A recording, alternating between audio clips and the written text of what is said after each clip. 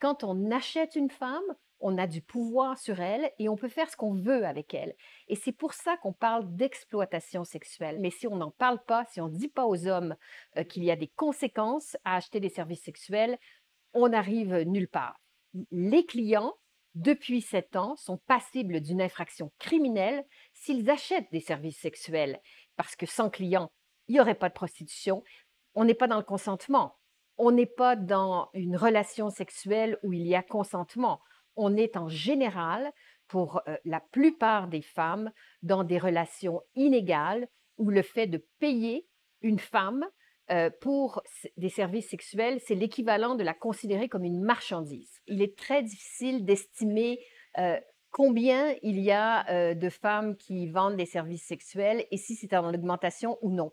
Tout ce qu'on sait cependant, c'est que depuis que la loi de 2014 a été adoptée, il y a moins de femmes qui se font arrêter et plus d'hommes qui sont coupables de crimes sexuels. Mais ça ne veut pas dire on ne sait pas combien il y a de femmes exactement, on ne sait pas exactement où elles sont. Il faut des campagnes de sensibilisation et ça presse. Le gouvernement ne fait pas de campagne de sensibilisation parce qu'il n'y a pas euh, de consensus euh, chez les libéraux à l'effet qu'en général, la prostitution, c'est de l'exploitation sexuelle. Et je trouve ça très dommage parce qu'on a une loi, elle existe, elle criminalise les clients, Or, on ne leur dit pas. C'est pas la même chose pour les femmes qui vendent des services sexuels. Elles ne sont pas criminalisées parce que toute l'idée, c'est de considérer, et c'est le cas, qu'elles sont en général victimes d'exploitation sexuelle. Il ne faut pas que ces femmes soient judiciarisées, soient criminalisées. Le gouvernement fédéral, en fait, n'a pratiquement rien fait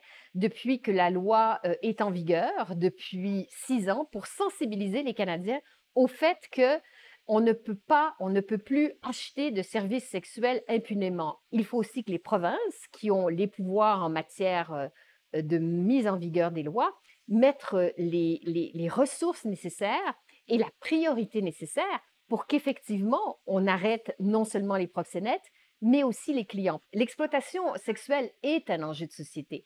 À une époque, euh, on disait vous savez, la prostitution, c'est le plus vieux métier du monde, ça va toujours exister. Mais non, je refuse cette espèce de, phrase creuse qui est fausse. C'est un cliché qui vient dire qu'on ne peut rien faire pour euh, abolir ou pour diminuer la prostitution, que les hommes auront toujours des désirs incontrôlables. Or, tout ça, euh, c'est social. C'est-à-dire qu'il n'y a aucune raison de croire que les hommes ont des désirs plus insatiables que les femmes. C'est une question de pouvoir n'est pas une question de sexualité. La majorité silencieuse des femmes qui sont prises dans des situations, qui sont sous le joug d'un proxénète, qui sont dans des bars de danseuses, qui sont dans des bars de massage, on ne les entend pas. Ce sont des femmes exploitées sexuellement.